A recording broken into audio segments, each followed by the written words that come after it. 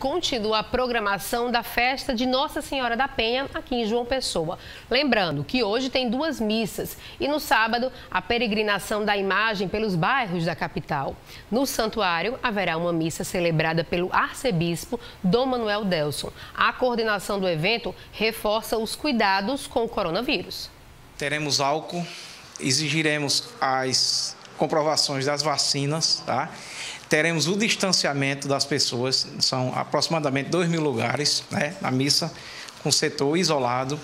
Teremos acesso para é, possíveis necessidades de socorro do bombeiro, de o SAMU, banheiros químicos, tudo dentro dos protocolos sanitários. Isso está programado para qual horário e, na verdade, vocês vão fazer por uma ordem de chegada de quem estiver lá no local. Isso. Na ordem de chegada, nós vamos, a partir das 14h30, vai sair a peregrinação.